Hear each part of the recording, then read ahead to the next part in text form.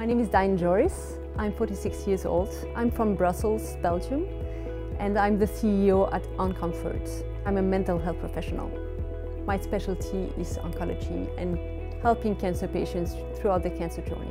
I was working in the procedure room and in the OR with cancer patients having invasive procedures and really freaking out. And I noticed how I can help them just with my voice, with the techniques I know, with the trainings I have. But I was so frustrated by the limitation of my clinical work and by the limitations of the languages I speak.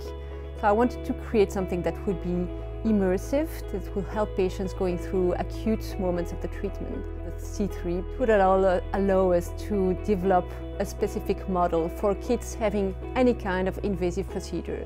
We know that anytime that you stick a needle or anything in a kid's body, it's very impressive. So our goal is to develop a virtual reality model that really helps them going through a short moments of the treatment, which is anxiety triggering.